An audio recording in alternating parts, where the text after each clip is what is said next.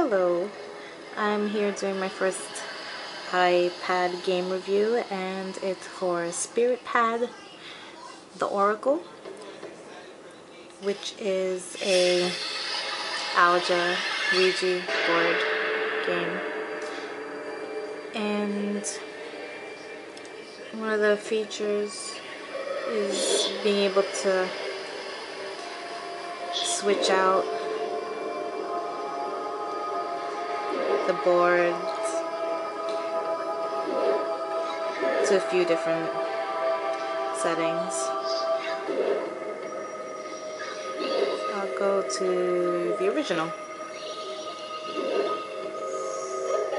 Also, I'm playing in the dark.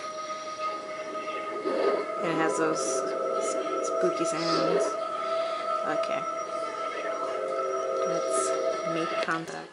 You know, I have um, messed around with this and I've had uh, friends take control over one side and move stuff around and it's very responsive.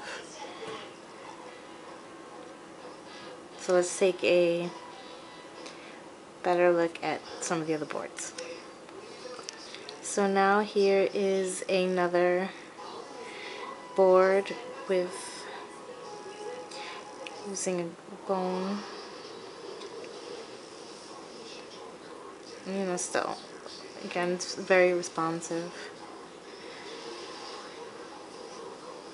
So if you're looking for something to do in between watching horror movies and you have an iPad, the Oracle Spirit Pad, it's only $1.99, so you should check it out.